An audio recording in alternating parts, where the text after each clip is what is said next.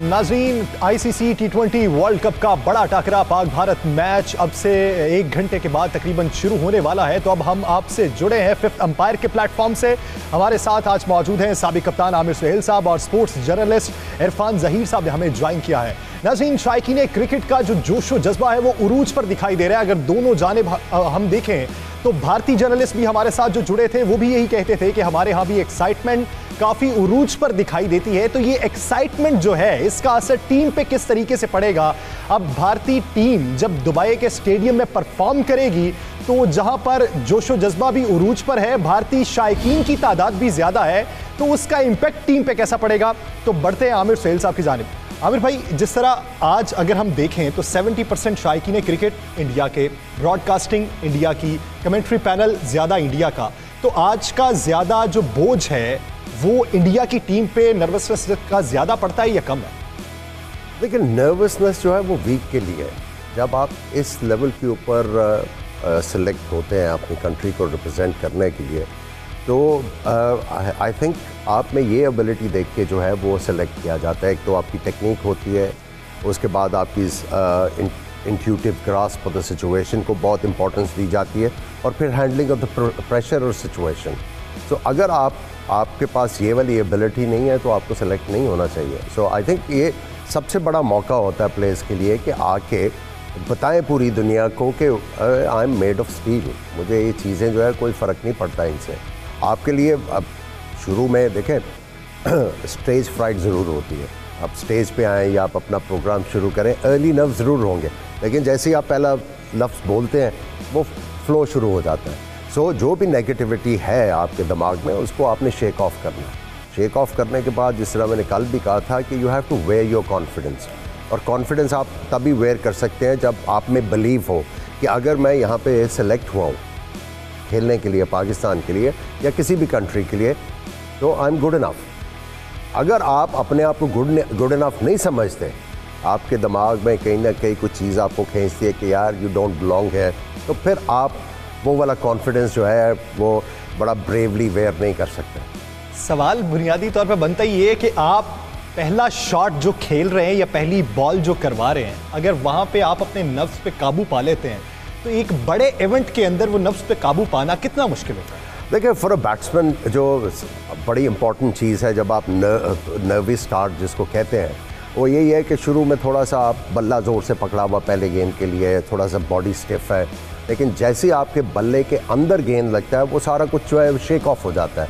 और बॉलर के लिए बहुत ज़्यादा ज़रूरी है कि वो जब बॉल करने आ रहा है तो होता ही है प्रेशर में गेंद आप बहुत ज़ोर से पकड़ लेते हो। जब ज़ोर से पकड़ते हो तो उसके बाद सारा आपका स्टिफनेस आ जाती है और उसमें आप गलती करते हो।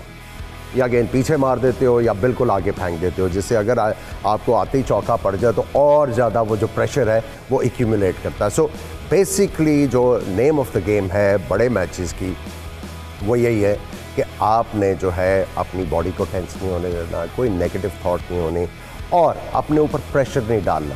हमेशा बड़ा प्लेयर जो होता है बड़े मैच में वो अपनी ए गेम लेके जाता है। सही। हमेशा। वो इधर उधर की सुनता नहीं है जो वो बेस्ट कर सकता है वो जाके वो करने की कोशिश करता है। अक्सर मेरे साथ भी हुआ हुआ है कि आप एक बड़े मैच में आए तो आपने जो है अपनी गेम चेंज करने की कोशिश की। नहीं, बड़ा मैच है, इसकी रिक्वायरमेंट और नहीं। बड़े मैच की रिक्वायरमेंट कोई नहीं है, वही रिक्वायरमेंट है जो आप कर सकते हैं।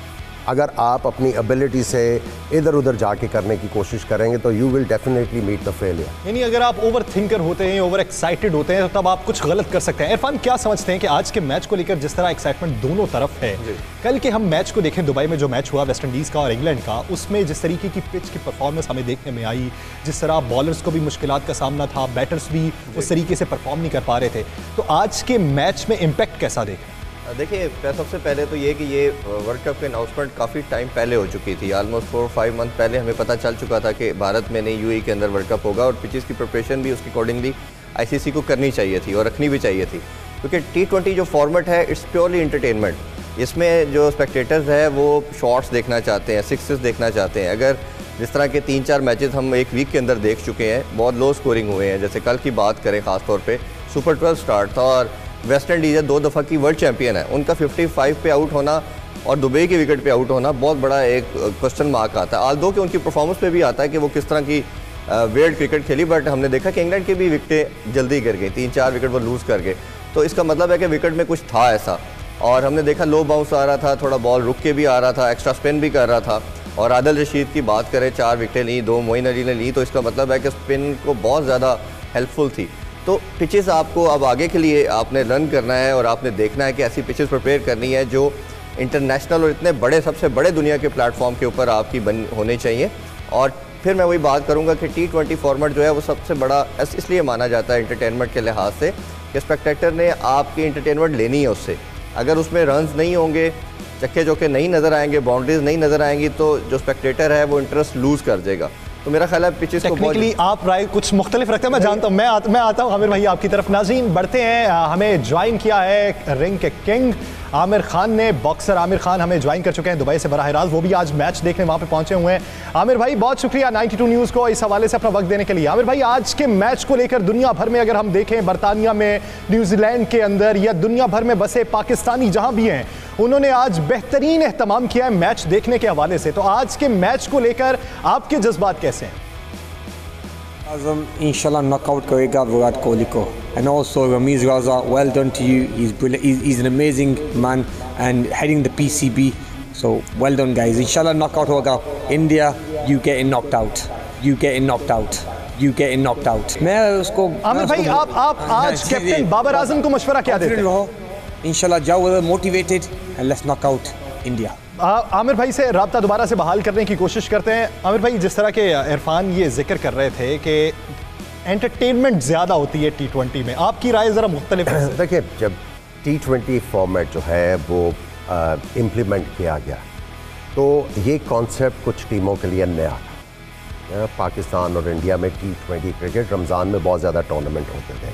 सो so, पाकिस्तान और इंडिया और कुछ और टीमें थी जिनके लिए ये एलियन नहीं था। तो वो आते ही आपने देखा पहला टी ट्वेंटी वर्ल्ड कप हुआ फाइनलिस्ट कौन थे? इंडिया, पाकिस्तान। बाकी अभी लॉस्ट इन ट्रांसलेशन थे कि किस तरह करना है। उसके बाद बॉलर्स जो थे वो डर के बॉल कर रहे थे इस फॉर्मेट में, मार से बचने के लिए। अब उनको रियलाइजेशन होगी, अब मार से नहीं, मार से नहीं भागना। आपने बैट्समैन को आउट करने जाना है चौकों छक्कों का नहीं सोचना, अब वो कर रहे हैं दलेरी से बॉलिंग दलेरी से बॉलिंग कर रहे हैं, अब वो जो जो लेंथ्स रिक्वायर्ड है, उसके ऊपर बॉल कर रहे हैं। और बैट्समैन जो है, उनको अभी तक अंदाज़ा नहीं हो सका कि अब बॉलरों को बॉलिंग करनी आ गई है। अब वो वाले जो है लंबे लंबे छक्के रोज़ रोज़ नहीं लगने।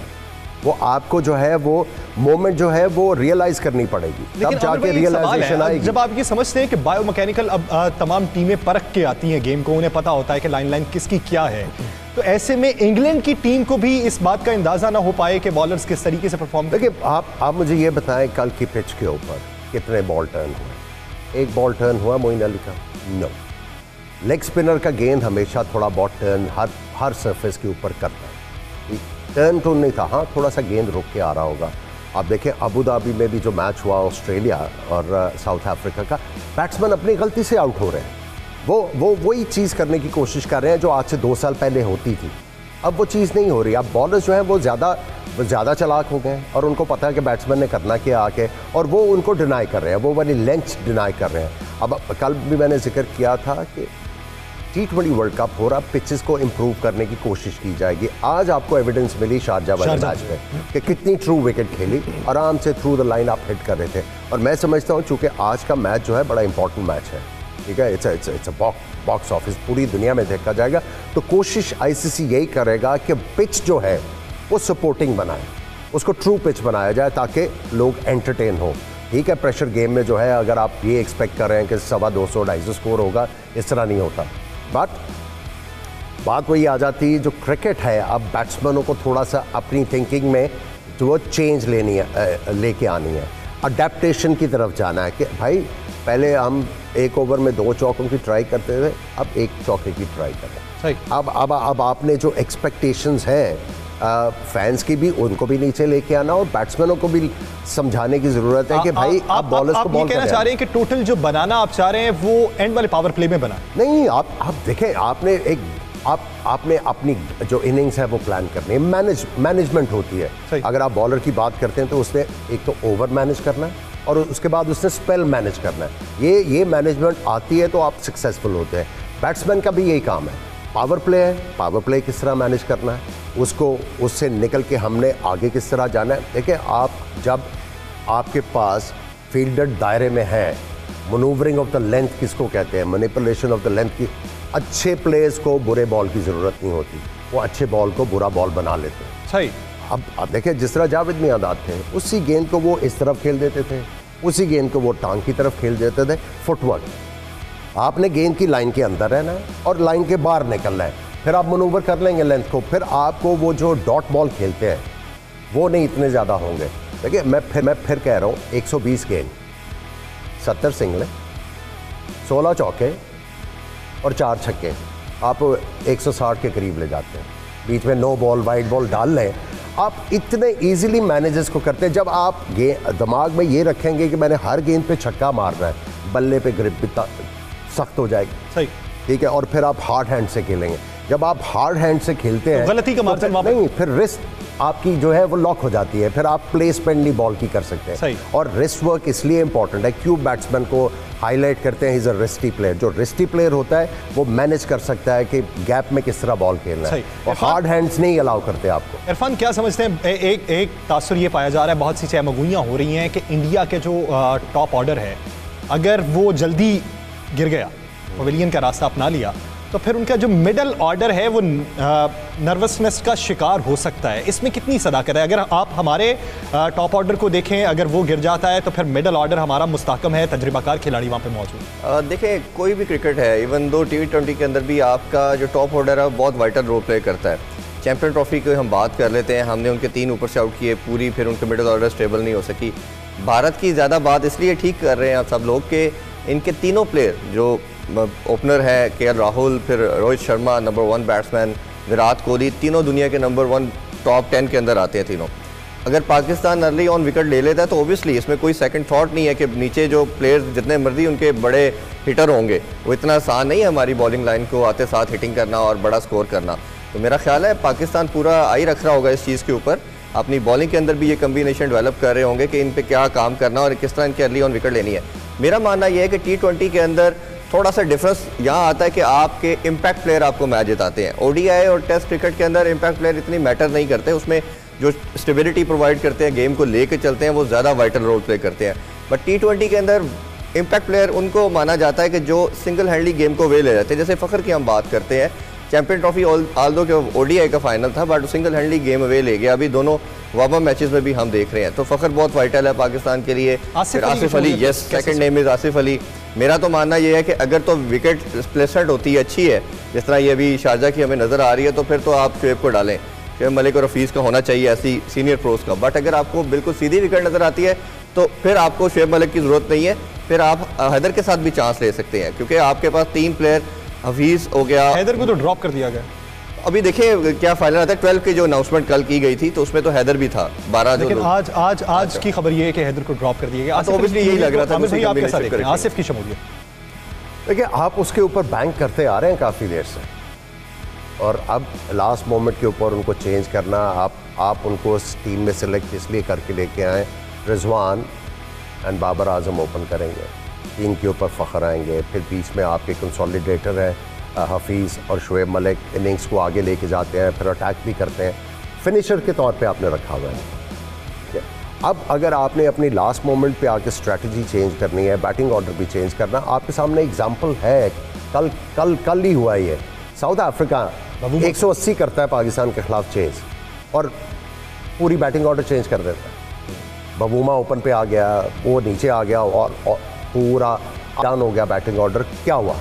118 पे आउट हो गए वो तो बॉलर्स ने मैच बनाया बहुत ज़बरदस्त उनके लिए ऑलमोस्ट जीत भी गए थे। लेकिन लास्ट मोमेंट के ऊपर इतनी चेंजेस जो हैं वो कई दफ़ा नई आपकी टीम को सेटल होने देती है। तो अब जो थिंकिंग आप इतने अरसे से लेके चल रहे हैं उसको उसको एक मौका दें। एक क्रूशल मैच में इतनी होलसेल चेंजेस करने की ज़रूरत नहीं है। जो लड़का जिस रोल की वजह से टीम में है उसको कहें कि भाई आपको इस, इतना अरसा हमने कैरी किया आप करके दिखाओ। सही।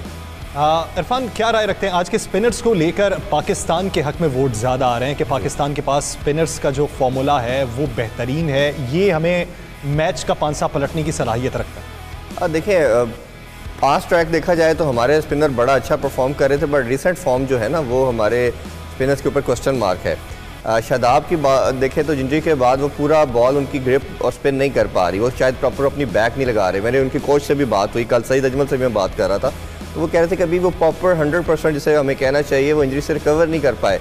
जिसकी वजह से शायद वो कहीं रुकते हैं पूरी प्रॉपर बैक नहीं लगाते। और ये एक एलिमेंट है। फिर हम शादाब। शादाब। की इसी वजह से हम देख रहे हैं कि वो प्रॉपर उनकी बॉल स्पिन नहीं कर पा रही। उनके वो थोड़ा टिमिड अप्रोच भी ला रहे हैं। एक चीज़ अंडरस्टैंड करें Shadab is not a typical leg spinner yes वो बाजू के साथ बॉल करने वाले बॉलर है उनकी बैक इन्वॉल्व नहीं होती क्योंकि वो ओपन चेस्ट बॉलर है। उनकी हिप की हिप की सारी प्रॉब्लम होती है। लेग स्पिनर बैक उसकी लगती है जो साइड ऑन बॉल करता है। He is front on front on arm के साथ बॉल करता गुगली जब करते थे तो बैक भी लगाते थे। गुगली भी अब गुगली के ऊपर हाँ, भी ओपन चेस्ट करते हैं ना बॉल तो बेसिकली उनका मसला ये है उनका सारा प्रॉब्लम आया हुआ है रिस्ट में। Wrist hmm. जब उनकी करेक्ट पोजीशन पे आएगी रिस्ट जब रिस्ट स्पिनर की आएगी तब बॉल होने शुरू होंगे। उनका उनका वो he is a different leg spinner is not a conventional leg spinner so you have to differentiate between these two things और उनका एक और मसला भी जो नज़र आ रहा है कि उनकी जो अप्रोच टी ट्वेंटी ये अभी रिसेंटली डोमेस्टिक हमने देखा जो उनकी अप्रोच नज़र आ रही है वो ये है कि मेरे पे बाउंड्रीज ना हो वो बैट्समैन को रोटेशन की तरफ़ लेके जाते हैं। सही। वो रोटेशन करे सिंगल डबल कर ले बाउंड्री ना मुझे लगे और, और विकेट की जब ऑब्वियसली जब आप विकेट्स की ट्राई करता है जब भी कोई भी आपका बॉलर तो ऑब्वियसली रन भी होते हैं उसके अगेंस्ट ये एक तो बड़ा प्रीडोमिनेट सी एक सिचुएशन बनती है उसके लिए। तो वो थोड़ा सा रिलेक्टेड है विकेट टेकिंग डिलीवरीज के ऊपर भी।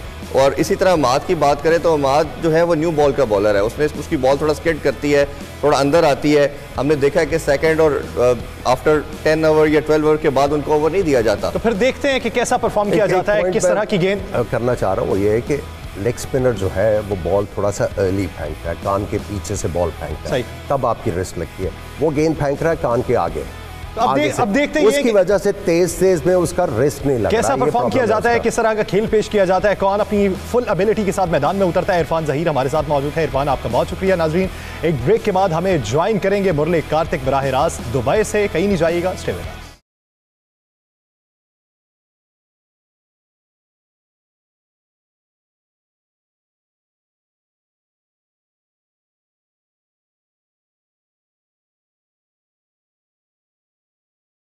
असलम नाजीन फिफ्थ अंपायर में खुश आमदी टी ट्वेंटी वर्ल्ड कप का आगाज़ कई दिनों से हो चुका है। अब सुपर 12 मरहला जो कल उसके दो मैचेस हुए तो आज टी ट्वेंटी वर्ल्ड कप का हाई वोल्टेज मार्का होने जा रहा है पाकिस्तान और भारत के दरमियान। कुछ ही देर में मैच शुरू होगा। कुछ ही देर में टॉस होने के बाद फैसला होगा कि किस टीम ने पहले बैटिंग को चूज़ किया है और कौन सी टीम बॉलिंग पहले करवाती है।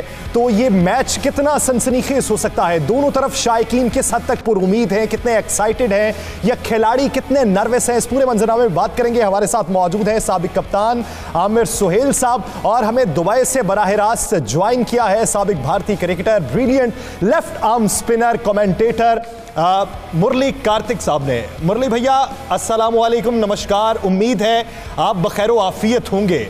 आज बड़ा मैच होने जा रहा है। इस मैच को लेकर पाकिस्तान और भारत में हमेशा से लोग एक्साइटेड रहे हैं और इसे जितना मर्ज़ी बड़ा वो प्लेटफॉर्म हो, जितना मर्ज़ी बड़े मैचेस पहले हो जाएँ, लेकिन पाक भारत मैच को लेकर एक फाइनल जैसी सूरत हाल बन जाती है। तो क्या समझते हैं कि इस मैच में इंडियन टीम एक्साइटेड है या नर्वस है? वालेकुम अस्सलाम। थैंक्स फॉर हैविंग मी नमस्कार सबको। पाकिस्तान में देखिए, जब इंडिया पाकिस्तान का मैच होता है तो मैच से बड़ा हो जाता है, क्योंकि जो सारे जो लोग हैं, वो इन्वॉल्व हो जाते हैं। मैं कह सकता हूँ कि ना ही, ना केवल भारत और पाकिस्तान में, पर पूरे मुल्क में, पूरे जहान में जितने भी इंडियंस और पाकिस्तानी लोग रहते हैं, उन सब का जो ध्यान रहता है, वो इस मैच में रहेगा। मुझे पक्का मालूम है कि कल इंडिया, पाकिस्तान, जहाँ मर्ज़ी आप दुबई, जहाँ मर्ज़ी लगा लीजिए, लोग कहेंगे कि ये मैच देखना है। जब मैच शुरू होने वाला है, टॉस से लेके हर चीज़, लोग तो बहुत ज़्यादा, मैं कह सकता हूँ कि नर्वस होंगे।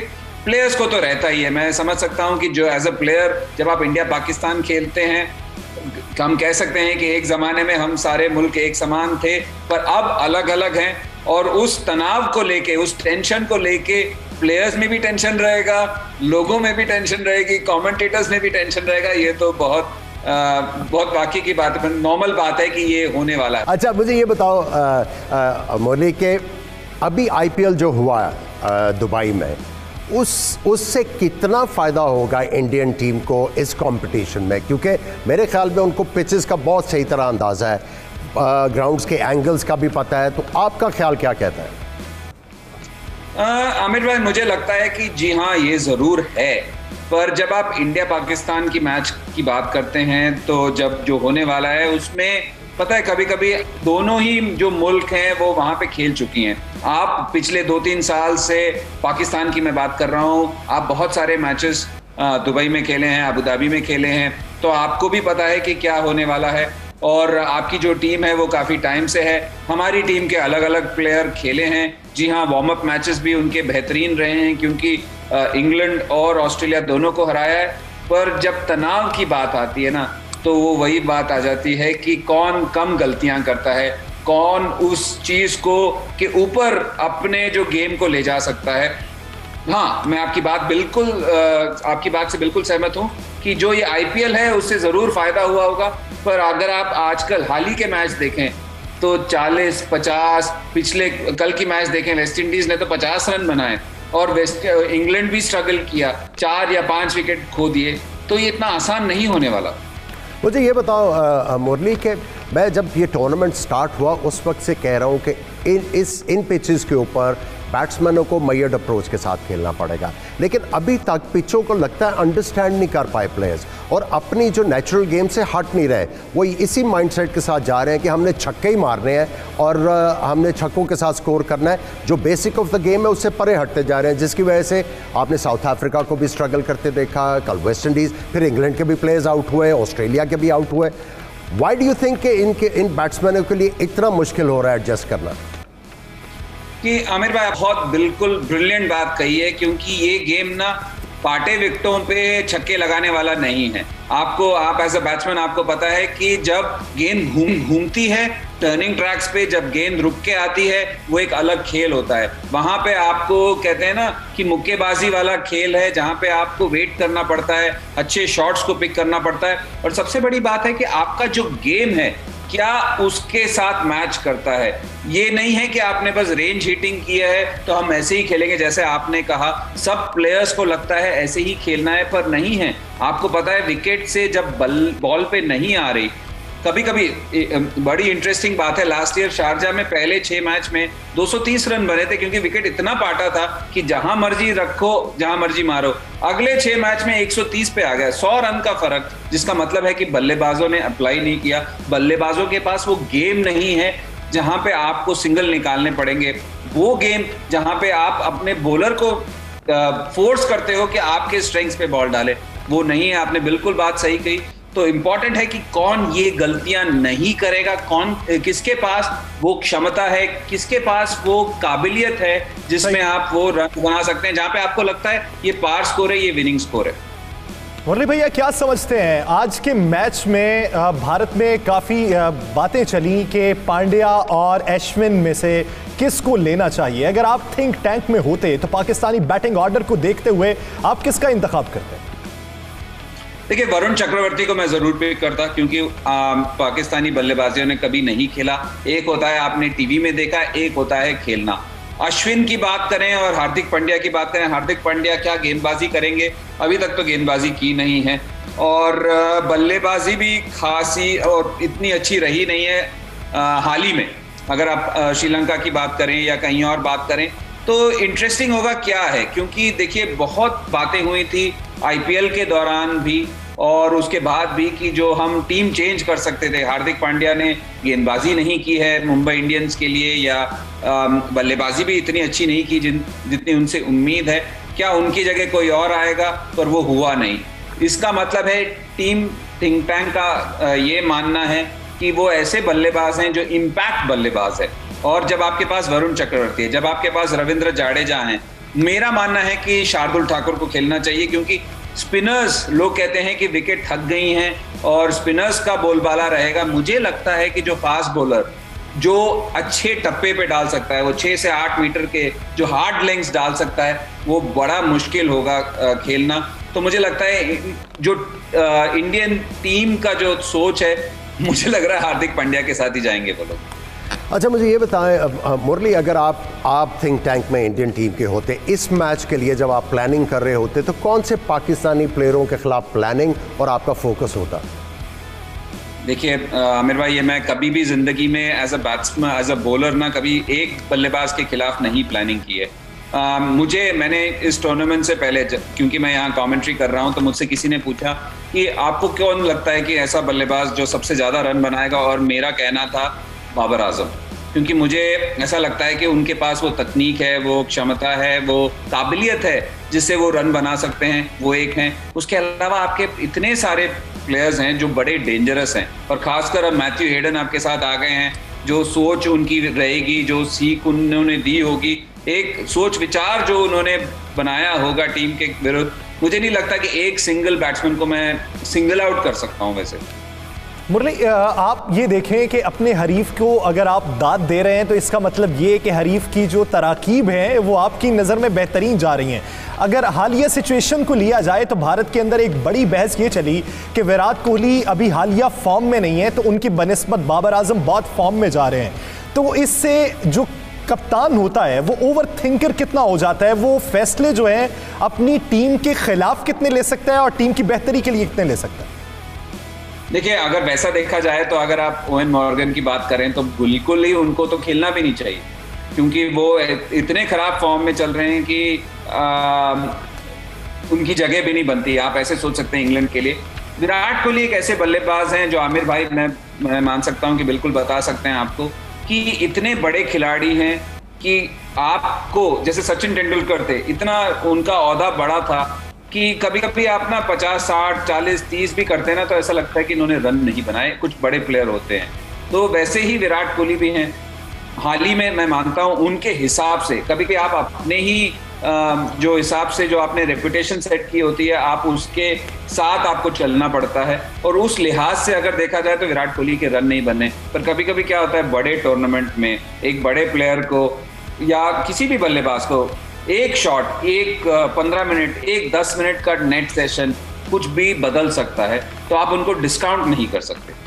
हाँ बिल्कुल आपके पहले ही जो आपका जो सबसे मुश्किल शॉट आपको लगता है इनिंग स्टार्ट करते ही आपका लगे, आपको कॉन्फिडेंस मिल जाता है, बिल्कुल सही कहा। आज के मैच में हमने कल मैच देखा इंग्लैंड और वेस्ट इंडीज़ का।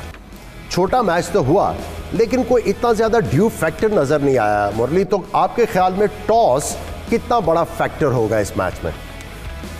आमिर भाई, मैं एक चीज़ बता सकता हूँ कि जो आईपीएल हमने जो अभी कवर किया है ड्यू तो है। अब मैं मस्कट से कल ही आया हूँ और ड्यू वहाँ पे भी था।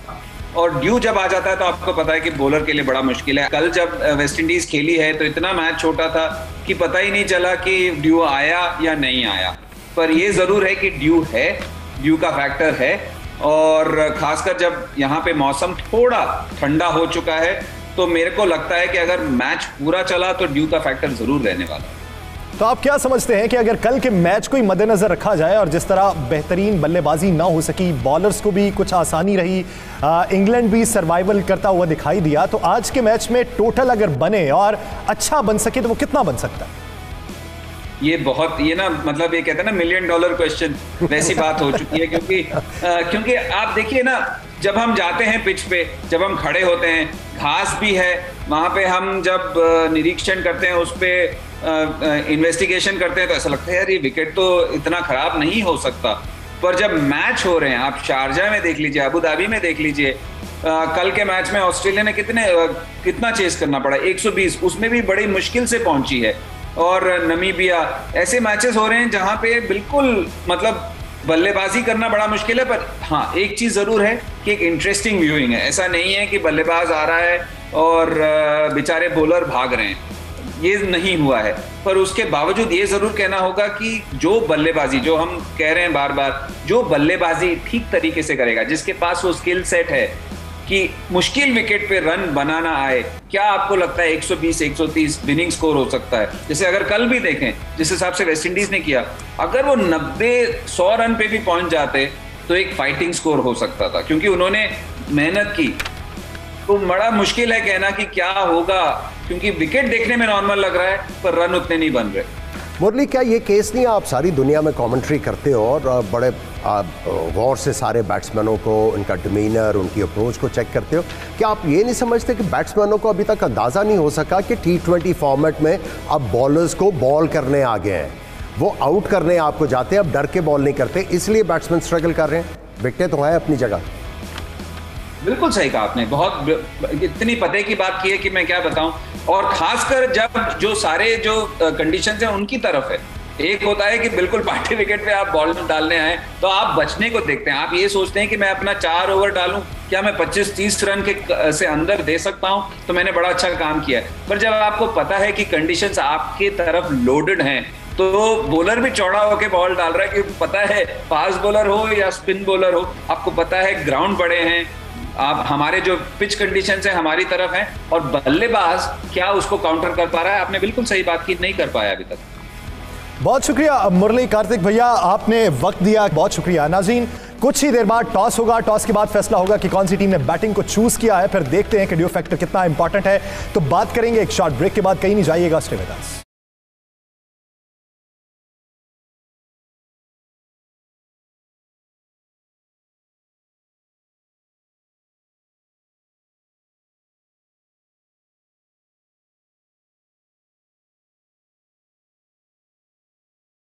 वेलकम बैक नाजीन, पाक भारत टाकरा कुछ ही देर बाद शुरू होने वाला है तो इस वक्त जोशो खरोश भी उरूज पर पहुँच चुका है। इरफान जहीर हमें एक बार फिर से ज्वाइन कर चुके हैं और हमें बरतानिया से ज्वाइन किया है सबक English bowler brilliant left arm spinner Monty Panesar ने। मोंटी भैया, अस्सलाम वालेकुम अकाल। उम्मीद करते हैं आप बखैर आफियत होंगे। हाँ आपको भी सलाम सत श्रीकाल एंड धन्यवाद, आपने हमको मौका दिया आपके चैनल के पास इंटरव्यू करना। बहुत शुक्रिया, मैं आपकी जानी वापस आता हूँ। नाजीन टेक्निकल इशू की वजह से आमिर खान जो हमें पहले ज्वाइन कर चुके थे बॉक्सर वो हमें फिर से ज्वाइन कर चुके हैं। तो आमिर भैया, बहुत शुक्रिया आपका इस हवाले से 92 न्यूज़ को अपना वक्त देने के लिए। आप भी खिलाड़ी हैं तो खिलाड़ी प्रेशर के दौरान किस तरीके से परफॉर्म करते हैं, ये आपको भी बेहतर पता होगा। तो आज के मैच को लेकर आपके क्या जज्बात हैं? आज़म इंशाल्लाह नॉकआउट करेगा विराट कोहली को and also Ramiz Raja well done to you is is an amazing man and heading the PCB so well done guys इंशाल्लाह नॉकआउट होगा India you get in knocked Babar Azam को क्या मशवरा देते हैं बतौर कप्तान? मैं उसको मैं उसको बस कॉन्फिडेंट रहो। इंशाल्लाह जाओ motivated and let's knock out India तो शुएब मलिक से आपकी बात हुई क्या समझते हैं? कितने मोटिवेटेड हैं? Team is very good Shoaib Malik के साथ बात हुई थी। उसने बोला every one ready fit strong उनका फिटनेस भी अच्छा है so they are ready to win उनको पता है कितना बड़ा ये गेम है। So in they will win and Pakistan का नाम वो रोशन करेंगे इन कुछ नौजवान खिलाड़ी भी हैं तो आप क्या समझते हैं? प्रेशर हैंडल करने के लिए क्या मशवरा देंगे? Us, uh, you know, it's, it's hard because, you know, at such young age, sometimes pressure is good pressure. अच्छा होना चाहिए sometimes you have to take in a good way so इंशाल्लाह ये बस stay focus stay motivated I am sure that उनके पास वो elders भी है like for example Babar Azam है शोएब मालिक है उनको वो सपोर्ट कर सकते हैं उनको बोल सकते हैं वो listen don't worry everything will be fine और you know I really believe ये because this is such a big match first game India के साथ you know the you know you know all the commotion that causes so I just feel that Pakistan will do a good number on India and also show यानी तजर्बाकार खिलाड़ी मौजूद हैं तो वो बेहतरीन परफॉर्म करने के लिए मशवरे भी बेहतरीन दे सकते हैं। तो फिर आज के मैच को खूब एंजॉय कीजिए। बेस्ट ऑफ़ लक बहुत शुक्रिया आमिर खान साहब इस हवाले से अपना वक्त देने के लिए। आमिर भैया जिस तरह आज मैच थोड़ी ही देर बाद शुरू होने वाला है तो फिर आज के मैच को लेके जिस तरह की एक्साइटमेंट बहुत उरूज पे पहुँच चुकी है हम ज़िक्र तो कर रहे हैं कि बतौर खिलाड़ी प्रेशर हमें नहीं लेना चाहिए। तो ये जो शायकीन का प्रेशर होता है खिलाड़ी के ऊपर वो उसमें ड्रेसिंग रूम में जब पाक भारत मैच होता है तो माहौल क्या होता है? देखिए, शुरू में तो टेंशन होती है, लेकिन आहिस्ता आहिस्ता आहिस्ता आहिस्ता वो टेंशन जो है ना, वो ज़ायल होना शुरू होती है।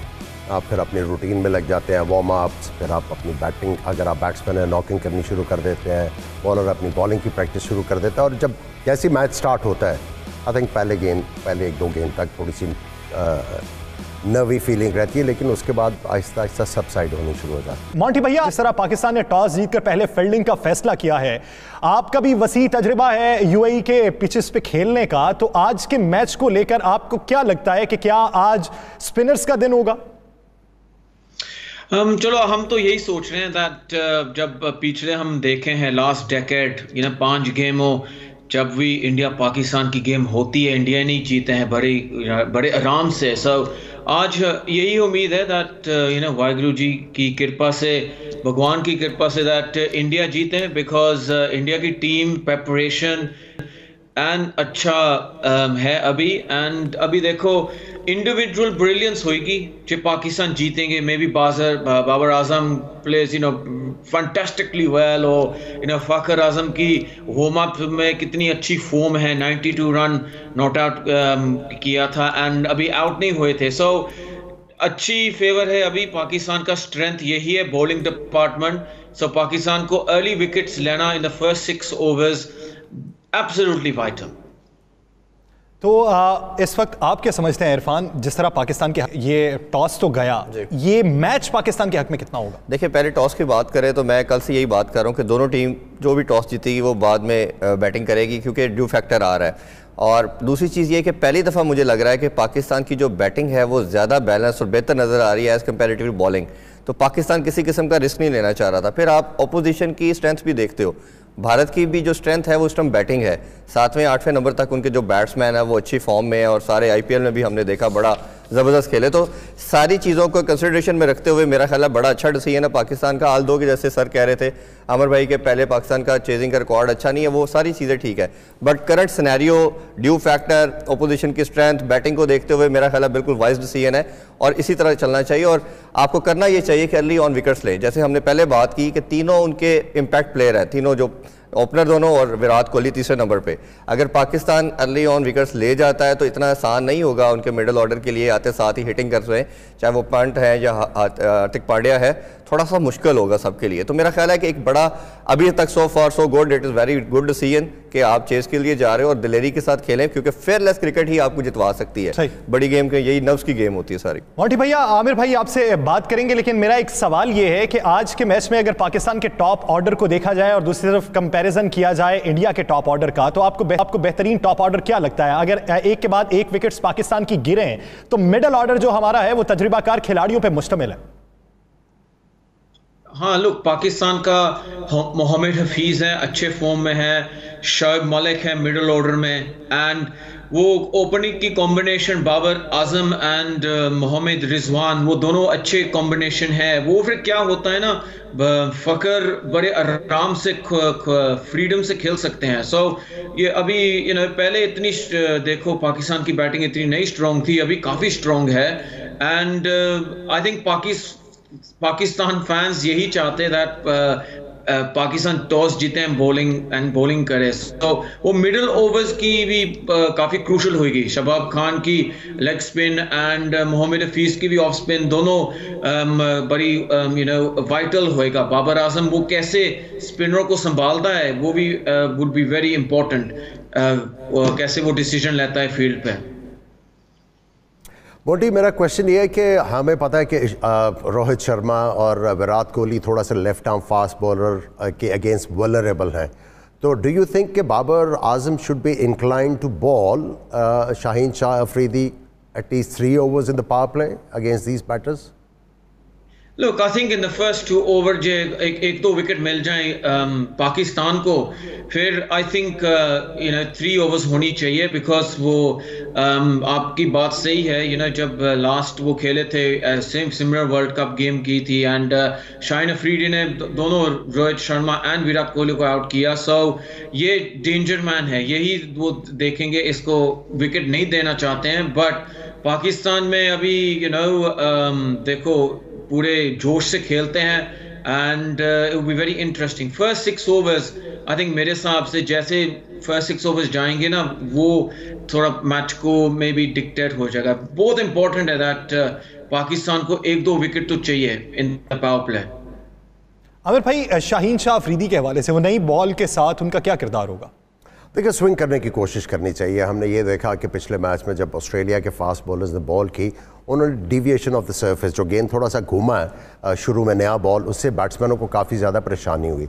आज भी हमने देखा कल शाम के मैच में भी जैसे जैसे स्विंग हुआ है, हल्का सा बॉल तो बैट्समैनों को मुश्किल हुई है। स्पेशली अंडर लाइट्स जो है, वो गेंद थोड़ा सा छः ओवर के लिए तो घूमेगा और मैं समझता हूँ कि बॉलर्स को ट्राई करना चाहिए, गेंद को आगे फेंक के, गेंद को स्विंग कराने की कोशिश करनी चाहिए। उसमें एक आधा चौका पड़ भी जाता है तो मेरा ख्याल है उससे परेशानी की कोई ज़रूरत नहीं हमने आउट करने जाना है। हमें अगर हमने ये सोच के अंदर गए कि हमने रन्स नहीं करने देने छः ओवर्स में आई थिंक वो आपके लिए काउंटर प्रोडक्टिव हो सकता है। आउट करने जाएँगे, उसमें एक आधा चौका भी पड़ जाता है तो कोई कोई उसमें मजायका नहीं है। लेकिन अगर आपको विकेट्स अर्ली मिल जाते हैं तो इंडिया की टीम डेफिनेटली प्रेशर में आएगी और उनके जो प्लान्स हैं, वो डिसरप्ट होंगे। देखिए, अगर वो आके बड़ी मैड अप्रोच के साथ गेम को खेलते हैं शाहिन शाह अफरीदी को वो एहतियात से खेलते हैं इसका मतलब है उन्होंने आने वाले बॉलर्स को टारगेट किया हुआ है। तो जो आ, जो आगे आने वाला बॉलर है उसको अलर्ट रहना है।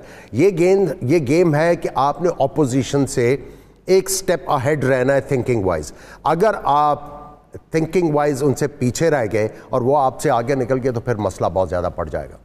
आप क्या समझते हैं स्पिनर्स का किरदार आज इंतहाई अहम गर्दाना जा। रहा है। तो आज ओपन किससे करवाए जाने की उम्मीद है? देखिए कॉम्बिनेशन तो हमारा शुरू से जो काफ़ी टाइम से हम लास्ट थ्री फोर ईयर से देख रहे हैं शहीन के साथ इमाद करते हैं उमाद नया बॉल करते हैं उसकी बॉल अंदर आती है। बट हो सकता है कि अभी थिंक टैंक को सोच रहा हो ऐसी चीज़ के कोई out of the box thinking लेके आए, क्योंकि भारत के अगेंस्ट कोई भी बड़ी टीम है, दूसरी इंग्लैंड की टीम है तो आपने अगर जीतना है तो कोई आउट ऑफ़ द बॉक्स चीज़ें करनी पड़ेंगी। भारत को एडवांटेज ये है कि स्पिन डिपार्टमेंट को पूरी दुनिया में सबसे अच्छा खेलते हैं ये। और आपने अपने स्पिनर को यूटिलाइज भी ऐसे करना है। अब आपको एक फेवर मिल चुका है कि आप टॉस जीत चुके हैं पहले बॉलिंग कर रहे हैं तो आपने बड़ा टेक्निकल यूज़ करना है। जैसे आप मुझे लगता है कि शादाब को भी आप सेवन्थ ओवर में फ़ौरन यूटिलाइज करेंगे।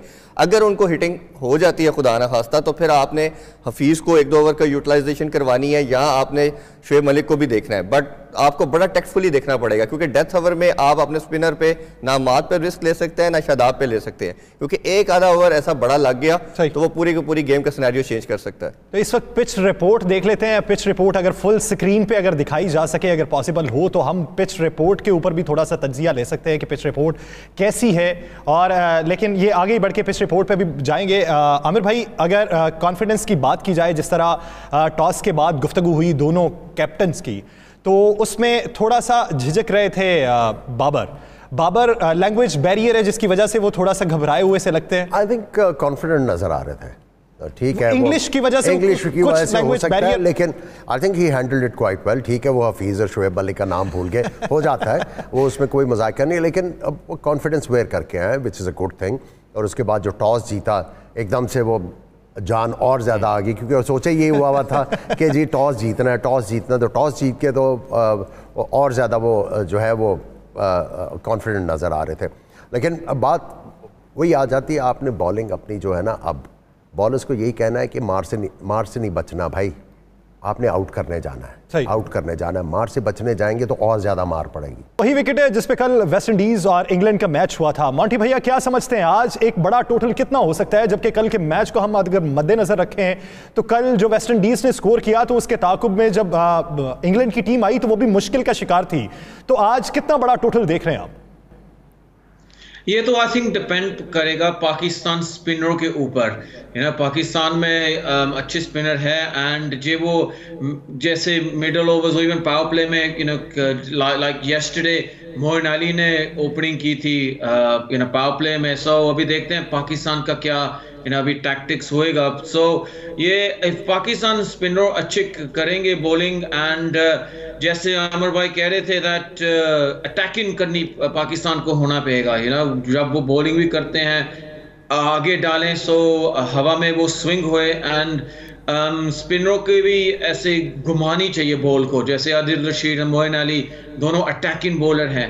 सो so, um, तेज गेंदबाजी तेज भी होनी चाहिए you know with pace but bite मिलेगी दुबई पिच में। सो so, ऐसे आई थिंक पाकिस्तान स्पिनरों का काफ़ी रिस्पॉन्सिबिलिटी होगी। क्या टोटल इंडिया का होएगा? अमिर भाई क्या राय रखते हैं? पहले तो बात ये थी कि टॉस और पिच पे ज़्यादा डिपेंड करता है मैच तो फिर अब टॉस भी हो चुका पिच रिपोर्ट ऐसी पिचेस जहाँ पे गेंद फंसता है वहाँ पे आपको एज ए बॉलर जो है कंसिस्टेंटली सीम के ऊपर गेंद कराना क्योंकि जब जैसे सीम जो है पिच के ऊपर पड़ेगी तो फिर वो रिएक्ट करती है। गेंद रुकता है। आपने मेक श्योर sure करना है वो पेट वाला हिस्सा गेंद का ना पड़े विकेट के ऊपर। अगर वो पड़ता है तो गेंद स्लाइड करता है बल्ले के ऊपर और पेस यूज़ हो जाती है। ये पाकिस्तान को कंसिस्टेंटली करना पड़ेगा। और यहाँ पे फास्ट बॉलर्स का रोल बहुत इंपॉर्टेंट होगा। उसकी वजह यह है कि जहाँ पे गेंद फंस रहा हो तो आपने ज़्यादातर तेज़ गेंद करने की कोशिश नहीं करनी। आपने आपने कई दफ़ा पेस को वेरी भी करना है। और कोशिश ये करना है कि इस एरिया में गेंद फेंके just back of the length जहाँ पे बैट्समैन थोड़ा सा अर्ली खेले और गेंद रुके और हवा में गेंद जाए और आउट करने के चांसेस हो। और उसमें अगर गेंद स्विंग भी कर जाता है फिर भी आपका एडवांटेज है। सो so, पिच जो है जो पिच रिपोर्ट के ऊपर अगर आप अपना कमेंट दें तो इसका मतलब यह है कि बैटिंग जो है आपको बड़ी समझदारी से करनी पड़ेगी। यहाँ पे। और अगर आपने बॉलर्स को अनड्यू चांसेस लेने की कोशिश की तो बॉलर जो है वो प्रिवेल करेंगे इस पिच के ऊपर। क्या समझते हैं आज कम से कम और ज़्यादा से ज़्यादा टोटल क्या हो सकता है? देखिए पाकिस्तान अगर टॉस जीत के अब उन्होंने बारी दी है पाकिस्तान को ये सोचना चाहिए कि एक सौ सत्तर भी होता है तो चेजेबल है। क्योंकि आप देखें विकेट थोड़ी सी डिफरेंट थी शारजा में श्रीलंका आराम से चेज कर गया। थोड़ी कुछ ज़्यादा ही डिफरेंट लग रही थी। और बाउंड्री भी छोटी थी यहाँ पे भी बाउंड्री कुछ साइड से छोटी है सो पाकिस्तान को ये सोचना चाहिए कि अगर ड्यू पड़ती है तो अगर वो 170 भी कर जाते हैं ना तो ये चेजेबल होगा। इंडिया को थोड़ा सा प्रेशर होगा बैटिंग वाइज के ऑस के लिए उन्होंने जो 15-20 रन की इंश्योरेंस अपने लिए बॉलर्स के लिए लेके आनी है उसके ऊपर वो कितने चांसेस लेते हैं? और उस उन चांसेस लेने में पाकिस्तान क्या अवेल करता है? सो so, ये टैक्टिक्स की गेम होगी ऐसी पिच के ऊपर। बड़ा कैलकुलेटेड डिसीज़न करने की ज़रूरत है और बॉलर्स को बड़ी अक्लमंदी से बॉल करने की ज़रूरत है। और यहाँ पे याद रखिएगा अच्छा बैट्समैन जो होता है वो कई दफ़ा ये देखता है कि मैं बॉलर को गलती करने का वेट करूँगा। जैसी बॉलर गलती करता है अगर उसने हाफ़ वॉली फेंकी है वो चौका मारने के बाद अगले गेंद के ऊपर तैयार होता है ये पीछे करे करेगा। उसमें भी वो चौका मार जाता है। उससे फिर प्रेशर जो अच्छे बैट्समैन है बढ़ाना शुरू करते हैं। सो so, हर गेंद जो है इन्होंने बड़ा सोच समझ के करना है। और बैट्समैन को फ्रीडम अलाउ नहीं करनी फिर जाके बड़ा तगड़ा मैच जो है हमें देखने को मिलेगा। इरफान क्या राय रखते हैं कि कहाँ तक टोटल हो तो इंडिया खुद को कंफर्ट जोन में समझेगा। अब मैं अमर भाई की बात से बिल्कुल सेकंड करूँगा। इसमें हमें देखना पड़ेगा, जैसे विकेट वही यूज़ हो रही है मोस्ट लाइकली तो उसमें बॉल फंसेगा, रुक के आएगा। अभी हमने दोनों वार्म अप मैचेस देखे सेकंड मैच की बात करें, जो साउथ अफ्रीका ने चेस किया तो हमारे फास्ट बॉलर ने अपनी लेंथ को थोड़ा ऑल्टर किया। हमने देखा कि शहीन भी थोड़ा और आगे बॉल कर रहे थे जो हमने देखा कि हसन अली उन्होंने अब डिफरेंट लेंथ के ऊपर बॉल कर रहे थे। ओबियसली एक वार्म अप मैच था तो वो ट्राई आउट कर रहे थे चीज़ों को लेंथ को ऑल्टर करके। तो आपने डेप्थ बॉलिंग और न्यू बॉल के बॉल दोनों को देखना है सर्कमस्टांसिस के अकॉर्डिंगली किस तरह कर रहा है। और जैसा अमर भाई ने कहा, आपको अपने कटर काफ़ी यूज़ करने पड़ेंगे। बॉल इधर फंसेगा ग्रिप करेगा, लगेगा, आप एक जगह पे बॉल नहीं कर सकते। इसी तरह बैटिंग के अंदर बात करें तो मुझे इस कंडीशन इस विकेट्स के ऊपर देख के सबसे वाइटल जो बैट्समैन नज़र आ रहा है, वो रिजवान नज़र आ रहे हैं। ये बहुत सिमिलर विकेट्स है, अगर आपको थोड़ा सा रिकॉल करें पाकिस्तान वर्सेस जम्बावे की सीरीज़। तो इसी तरह से जम्बावे हमें ऑलमोस्ट मैचेस में ले गया था। सीरीज़ वो जीतने के करीब थे बट रिजवान एक ऐसा बैट्समैन उस टाइम था जिसने उन पिचेस को यूटिलाइज किया और पाकिस्तान को वो दो एक से सीरीज़ जितवाई। और ये भी मोस्ट लाइकली उसी तरह की पिचेस लग रही हैं। तो रिजवान के पास क्या चीज़ है कि वो बॉल का वेट करता है? अगर वेट कर रहा है, वो प्रॉपर हर बॉल पे शॉट के लिए इस तरह नहीं जाता।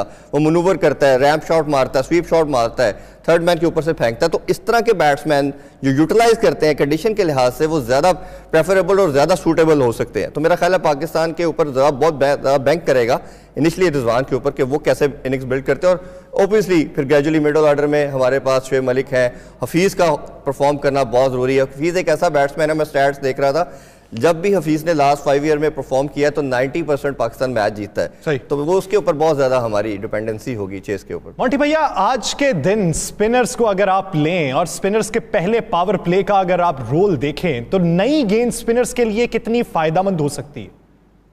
में काफ़ी फ़ायदेमंद हो सकती है।